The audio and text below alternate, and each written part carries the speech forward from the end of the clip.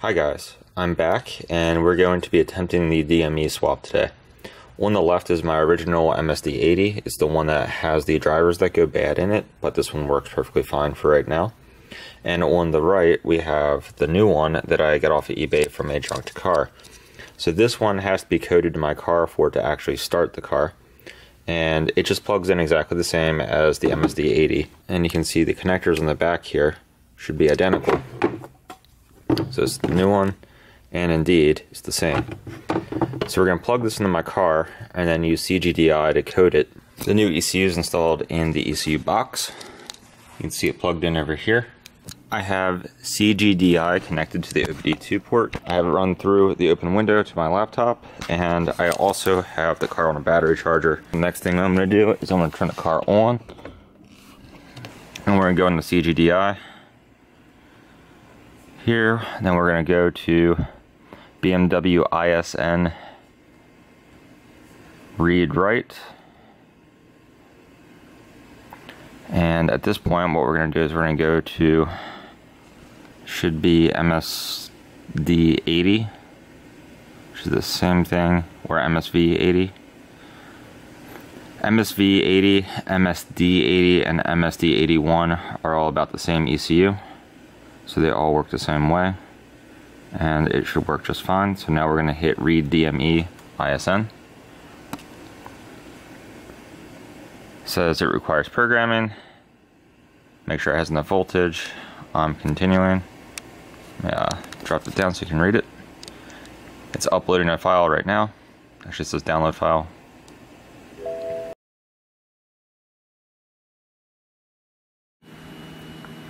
Quite a few minutes later, it looks like it's wrapping up now, so this is checking the flash.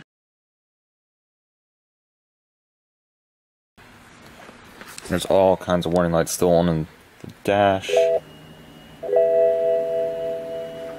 It's ABS, like that's like stability control.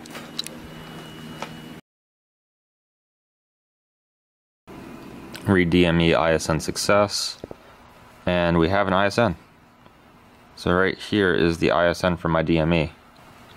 At this point, we're going to need to read the CAS ISN, which is no longer going to match. It will match the ISN of my old DME and write the new one into the CAS.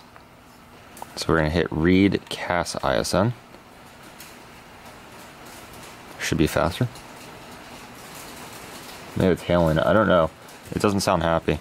Please pop up the key from ignition. I don't know what that means. We're going to leave it in. Please put key in the CGDI programmer coil. Okay.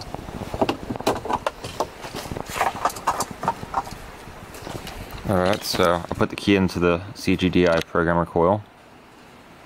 Work key is being read. And when it says work key, it means your working key. At this point, we've got our CAS ISN, which does not match. At this point, I think we have to hit enter or write CAS ISN. Don't know if I have to copy it. Maybe that's what I need to do. Write CAS ISN. Please pop up the key from the ignition. So it looks like the copy and paste it in. Says success, read CAS ISN, see if it flips or not.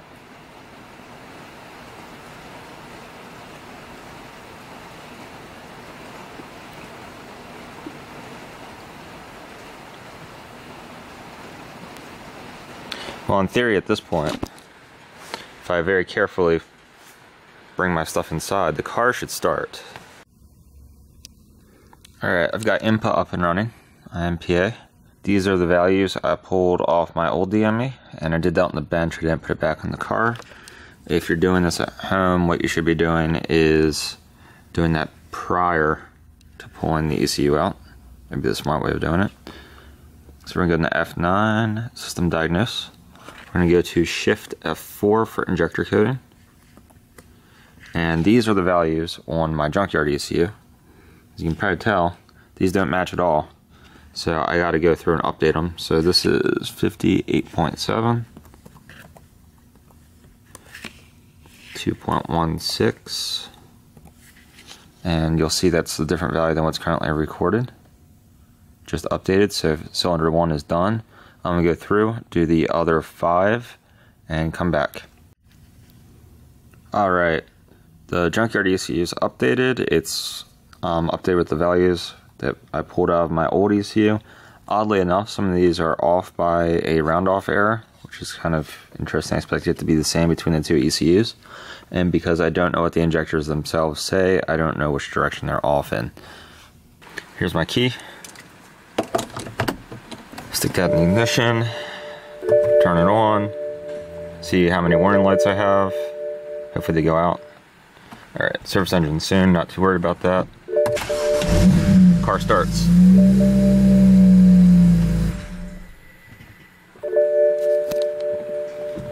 So it worked. We'll call that success. And no cuts. I'm gonna walk over to the bench and I will show you. I have my old DME sitting over here. That's MSD 80. You can read it right on the label. All right, here is MHD. Read DME codes. First thing is it still says 2F49 EWS preventing manipulation. That one kind of worries me a little bit. The VIN here it's reading. Still the old one. Alright, I just got back. I'm going to read the codes. No active codes. So yeah, EWS manipulation's gone. Everything is perfect now. And this is on MSD 81 from a junkyard in my car. Everything's great.